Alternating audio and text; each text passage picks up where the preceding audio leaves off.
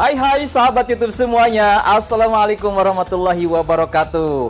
Jumpa lagi kita di channel pengacara Santuy Official. Teman-teman sekalian di video ini saya pengen sharing Terkait dengan kasus-kasus yang terjadi di tengah masyarakat. Kita akan bedah kasus yang mana ini mudah-mudahan bisa berguna agar kita masyarakat bisa mawas diri, bisa mewaspadai ancaman-ancaman tindak kejahatan atau kriminal yang bisa saja terjadi di tengah-tengah kita.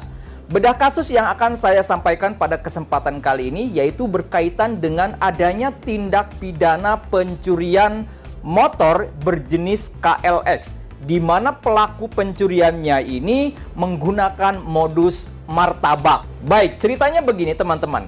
Saya mendapatkan kronologis tindak pidana ini berdasarkan hasil persidangan fakta-fakta yang terungkap di dalam persidangan di mana ada beberapa pelaku pencurian kendaraan bermotor roda 2 milik temannya sendiri. Baik, kronologisnya adalah seperti ini. Pada suatu hari, si A berkunjung ke kontrakan temannya, taruhlah kita sebut si B, di suatu rumah kontrakan atau rumah kos-kosan. Dan si B ini memiliki satu unit motor berjenis KLX. Kemudian pada saat si A ini berkunjung ataupun main ke temannya si B yang ada di kosan ini, dia pada saat sudah berbincang-bincang bersama si B di kosan, si A ini meminjam motor temannya, motor si B dengan alasan mau beli martabak. Kemudian si B memberikan kunci motor KLX tersebut kepada si A tidak ada curiga karena si A adalah temannya si B. Kemudian si A itu pergi membawa motor KLX si B untuk membeli martabak. Nah, pada saat membeli martabak, si A ini ternyata menduplikat kunci motor KLX si B. Setelah selesai menduplikat kunci motor si B tadi, si A kembali pulang ke kosannya si B membawa martabak. Ya, kemudian mereka ngopi santai-santai sambil makan martabak. Kemudian si A mengajak si B untuk bermain futsal. Nah, diajaklah teman-teman yang lainnya untuk bermain futsal di keesokan harinya. Ternyata si A ini sudah memiliki rencana jahat untuk mengambil motor milik si B tadi pada saat mereka bermain futsal.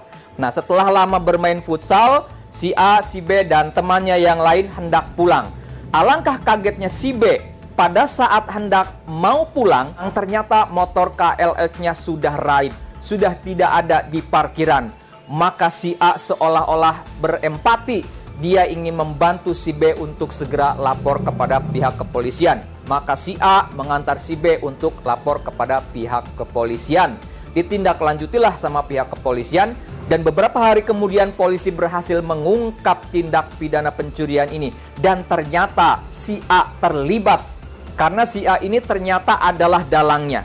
Dia yang menduplikat kunci motor temannya tadi yang si B. Kemudian si A ini menyusun siasat dengan dua pelaku lainnya bahwa pada saat nanti bermain futsal, dua pelaku yang sudah berencana dengan si A mengambil motor KLX milik si B di parkiran motor yang ada di lokasi futsal dengan menggunakan kunci motor KLX yang sudah diduplikat oleh si A pada hari sebelumnya.